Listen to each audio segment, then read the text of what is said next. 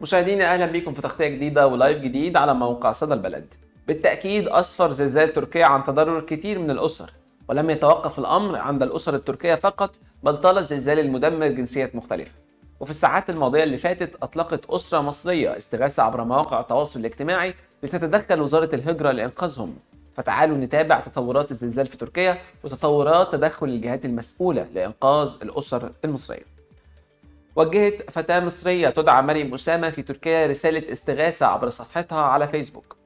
وكتبت مريم في رسالة نداء استغاثة يا تلحقونا يا ما تلحقوناش أنا من ضمن الناجيين من الزلزال في ولاية عثمانية شارع يونس بيت رقم تسعة.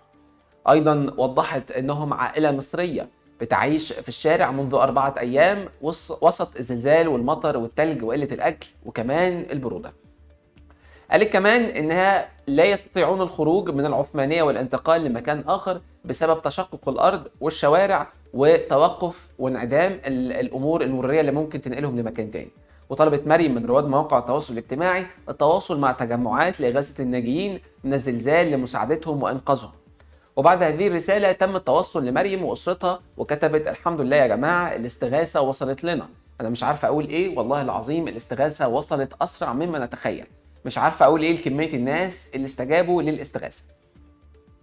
وضحت أيضا وأكدت مريم إن وزيرة الهجرة المصرية قامت بالتواصل معاها بشكل شخصي ووجهت بتقديم الشكر والتقدير للحكومة المصرية وسيادة وزيرة الهجرة والأستاذة مها سالم المستشار الإعلامي لمكتب سيادة الوزيرة والسفارة المصرية في تركيا على سرعة الاستجابة للاستغاثة والتواصل المستمر معاهم حتى تم إنقاذهم. ومن جانبها وجهت السفيرة سهى جندي وزيرة الهجرة رسالة طمأنة وأكدت أنه تم التواصل مع مريم وأسرتها فور نشرها الاستغاثة وتم إبلاغ أرقام الطوارئ التركية أيضا أكدت أنها قامت بالمتابعة حتى وصول الإغاثة لنقل الأسرة لمدينة أخرى بعيدا عن الخطر تماما. وأكدت أنه تم التواصل أيضا مع الأب الأستاذ أسامة شوكت للإطمئنان على الأسرة موضحة أن المصريين في تركيا يقفون بجانب بعضهم. وتقدمت أحد الأسر المصرية باستضافة أسرة أسرة أستاذ أسامة في مدينة قوينة لحين استقرار الأوضاع. من ناحية تانية ما زال في صعوبات كتيرة بتواجه الأهالي في تركيا. وأعلن الرئيس التركي رجب طيب أردوغان عن ارتفاع ضحايا الزلزال إلى نحو 19 ألف قتيل فيما تم إنقاذ أكثر من 75 ألف وإجلاء 76 ألف آخرين قال أردوغان كمان بحسب وكالة الأناضول الرسمية أنه تم إجلاء أكثر من 76 ألف شخص من ضحايا كارثة, الزلزال إلى ولايات أخرى وأكد أن السلطات هتتضمن انتقال المواطنين اللي لا يريدون البقاء في الخيم إلى منازل وتتكفل بدفع إيجار السكن ليهم لمدة سنة كاملة. أشار الرئيس التركي كمان إلى إصدار أوامر الخطوط الجوية التركية لنقل المسافرين من وإلى مناطق الزلزال مجانا. كاشفا النقاب عن اعداد إعداد برنامج شامل سيتضمن نهوض البلاد من جديد لا سيما المنطقة المتضررة من الزلزال. وأعلن وزير البيئة والتطور العمراني التركي مراد سابقا إن بلاده تستعد لإطلاق أكبر حملة إسكان في تاريخها في 10 ولايات تضررت من الزلزال.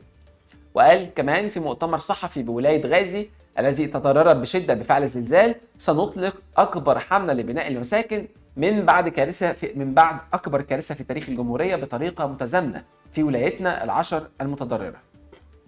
أفاد كمان الوزير التركي بأن عدد المباني المنهارة أو المتضررة بشكل كبير في عموم المناطق المنكوبة بلغ 12141 مبنى وتضاعف فرق الإنقاذ في الجهود بحثا عن ناجين تحت أنقاض الزلزال رغم مرور نحو 100 100 ساعة على وقوع الكارثة المفجعة.